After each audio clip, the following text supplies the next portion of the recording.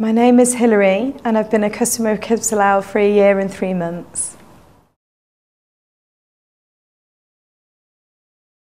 My daughter is called Lottie.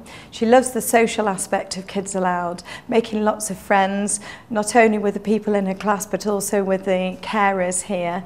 She has a, the full freedom to explore within a very safe environment. She can choose from numerous activities during the day, what she decides she wants to do and get involved in. Uh, there's always an open door policy for her. She can go outside if she wants to and explore outside, or she can come inside and, for example, read a book in the book corner or go and cook in the home corner. It's just great. She's in her element.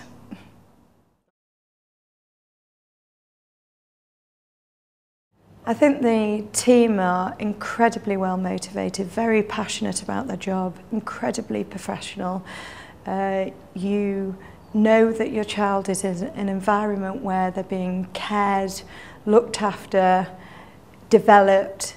Um, I think the facilities um, allow infinite possibilities for children to play in a fun way, to live, learn and interact in a safe and secure environment.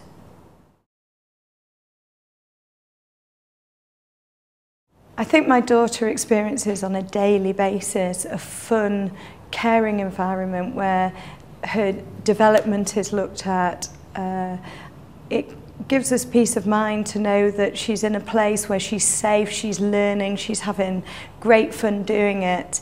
I wouldn't really wouldn't put my daughter anywhere else. I think the the standard of care here is outstanding.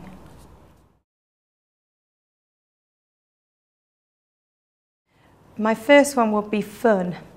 Lottie has loads of fun here. It's she interacts on a daily basis, but everything is around having fun. The, the second one I would, I personally would put it as education, but you could also say development. We actually call Kids Aloud school. And we call Kids Aloud school because Lottie learns so much here, so we call it school. And I think the third one, which is really, really paramount and important to me and my husband, is peace of mind. We know that Lottie is in a safe place where she's being cared for, being developed. We wouldn't put her anywhere else.